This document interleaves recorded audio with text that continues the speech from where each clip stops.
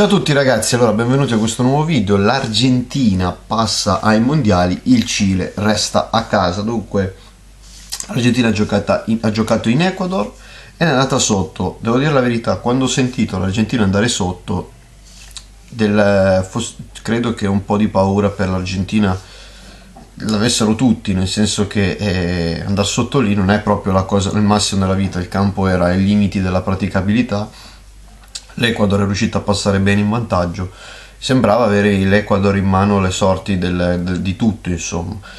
Però poi, poi nasce, viene fuori quella cosa che non si può eh, non si può improvvisare ecco non si può. Cioè Leo Messi. Leo Messi si scatena tre gol che portano l'Argentina al mondiale. E l'ha vinta lui l'ha vinta lui l'ha portato lui l'Argentina quando si dice che un giocatore che non fa differenze nazionali si dice una grande boiata. Perché è, è vero è vero che lui magari lui non ha ancora vinto trofei con l'Argentina.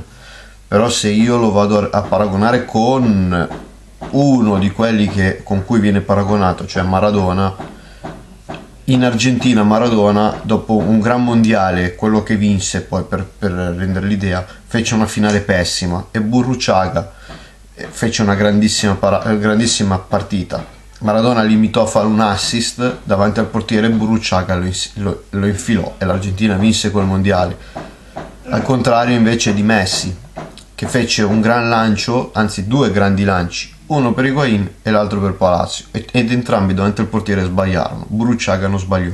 Questa credo che sia la differenza principale tra Messi, tra Messi e Maradona in nazionale non, non, nient'altro, considerando anche che Messi ha vinto anche l'Olimpiade, quindi questa viene sempre sottovalutata.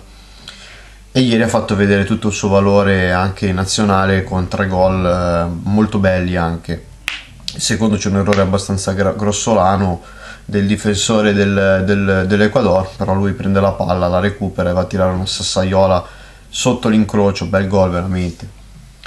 E au contraire, eh, se l'Argentina ride, il Cile piange. Il Cile piange perché perde 3-0 col Brasile, poteva anche perdere 1-0 e a un certo punto la Colombia stava vincendo col Perù in casa, quindi sicuramente sembrava anche una sconfitta andava bene al Cile.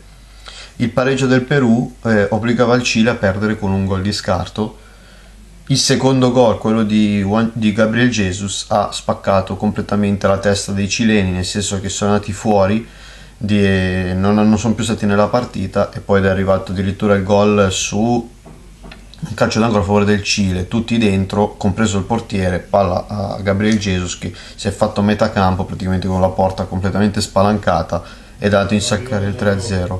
È un 3-0 che, che che butta giù dunque il Cile che non va neanche ai playoff eh, ed è una cosa un po' sorprendente perché insomma il Cile due volte campione di Coppa America secondo me fa molto rumore questa eliminazione l'avrebbe fatta anche quella dell'Argentina. Diciamo che questo Messi ha un po' oscurato la notizia del giorno che è l'eliminazione del Cile che non era assolutamente preventivabile perché al di là di tutto può possiamo anche voler bene agli amici del Perù però non mi sembra che il Perù abbia una squadra così forte da arrivare davanti al Cile Detto questo, dunque gli spareggi saranno, dunque passano, Brasi- passano intanto direttamente Brasile, Uruguay, Argentina e Colombia.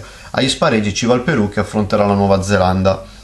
Nell'altra parte degli spareggi saranno Australia contro, ehm, Australia contro Honduras, Honduras-Australia, quindi questi saranno gli spareggi e dunque io credo che Perù e Australia siano strafavorite, però vedremo insomma i spareggi cosa diranno. Intanto quello che si può dire è che Messi e Ronaldo vanno ai mondiali e molti l'avevano messo in dubbio questa cosa, loro ci saranno, altri purtroppo no. Io vi saluto e vi do appuntamento con i prossimi video.